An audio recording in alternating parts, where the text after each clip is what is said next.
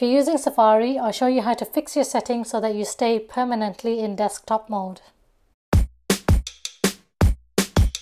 Before you start, you need to make sure that you have the latest software and you can check this by going into your settings app, into general, and then into software update and it should say 13.3.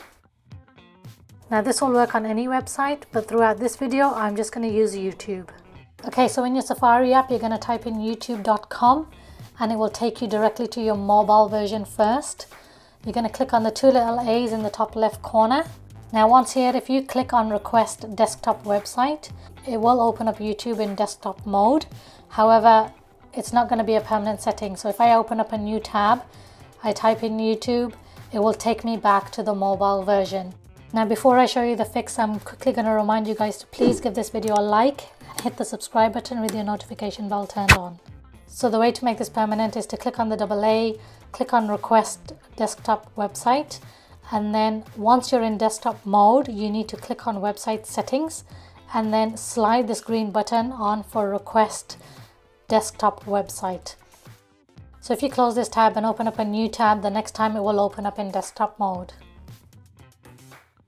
And also any private incognito windows that you open will also open up in desktop mode. I do want to point out that if you're in your mobile version and you first click on website settings and slide the green button onto request desktop website, this will not be a permanent fix. You have to do the two-step process for it to become permanent. So if I now show you by opening up a new tab, typing in youtube.com, it's going to take me back to the mobile app, even though I've made the change in the website settings. So you have to do the two-step process which I just showed you. Now to temporarily switch back to the mobile version, all you need to do is click on the double A and click on request mobile website. But to permanently switch to mobile version, you only need to go into website settings and just slide this green button off.